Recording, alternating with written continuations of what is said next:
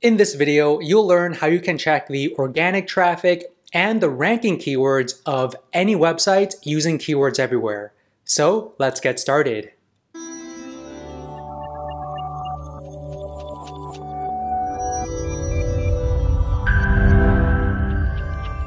Alright, so the first thing you need to do is have the Keywords Everywhere extension installed on your browser. Then go to Google and complete a search. Now, when you have the Keywords Everywhere extension on, you will notice uh, data next to the organic listings, uh, specifically to the right of the, the URL. You'll see traffic information and also keyword information for every single organic listing. Now, let me scroll up to the first one. So if you hover over it, you'll see a widget that pops up. The first uh, metric here is the organic traffic per month for this ranking page.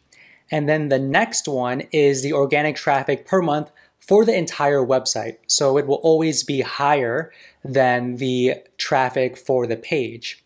Now, on the second row is all about the keywords. So this one shows you the total number of keywords that this page is ranking for. And then this one shows you the total number of keywords that the entire website is ranking for. Now, if you want to see a list of the keywords, just click on any of these uh, links. I'm going to click on this one. And Keywords Everywhere will uh, compile a list of all of the top 5,000 keywords for the page. Now, it's it will be organized according by the total estimated traffic as you'll see here. Now, Keywords Everywhere uh, provides the estimated traffic value by a specific calculation. So if you want to learn more about how we calculate the estimated traffic, just click the link in the, descrip in the description to read the article. Um, you'll see the SERP position. So this is uh, where in Google this specific keyword is ranking.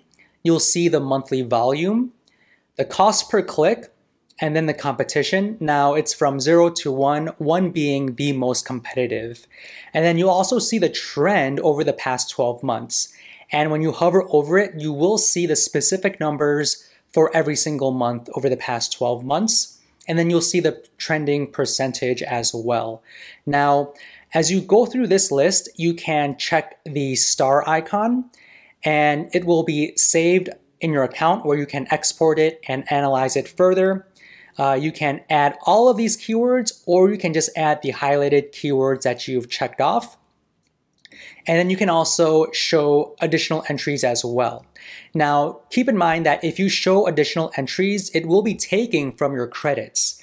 And another, another thing to note is that all of this uh, data right here uh, is only available to people who purchased credits. So if you don't have credits that you've purchased, you only see the keywords, a certain number of keywords. You can even copy this data, export it into Excel, CSV, PDF, or even print it out as well. Now, this is how you can do competitor analysis um, on Google for any competitor that's ranking for your search query.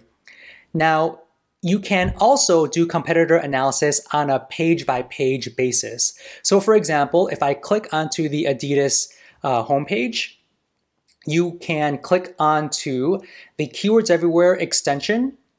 And if you click on organic uh, ranking keywords for the URL, it will show you all of the keywords that this page is ranking for, all right?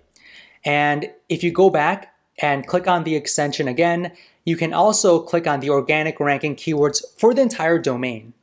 So this will give you another avenue of doing competitor research even though you may not be on Google. You can just type in your competitor and click on the extension to view all the keywords that page is ranking for or the entire site is ranking for.